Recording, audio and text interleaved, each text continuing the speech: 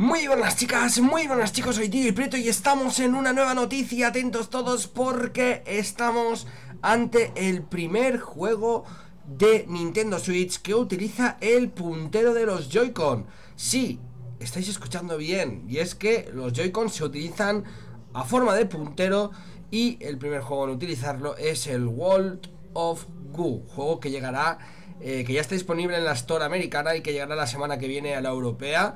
Eh, Wall of Goo, que se acaba de estrenar en Nintendo Switch, como bien he dicho, en la Store americana, eh, ha incorporado esta funcionalidad de los mandos Joy-Con que hasta ahora no se habían utilizado.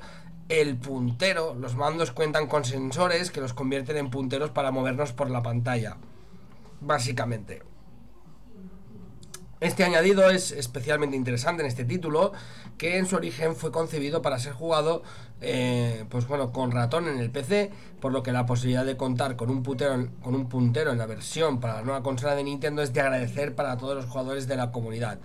Como podéis ver en la fuente de la descripción, el procedimiento requiere reposar el Joy-Con sobre una superficie para que se calibre, el sensor de movimiento y el modo puntero pues eh, funcionen a la perfección. Para jugar es posible usar a la vez los dos Joy-Con como punteros, a diferencia de Wii Wii U no requiere sensor adicional, ¿no? Woo eh, estará disponible, como bien he dicho, la semana que viene en la Store europea y ya está disponible en la americana. Gracias a todos por estar ahí, como siempre, informando del más mínimo detalle. Nos vemos en la siguiente. Hasta la próxima. Chao.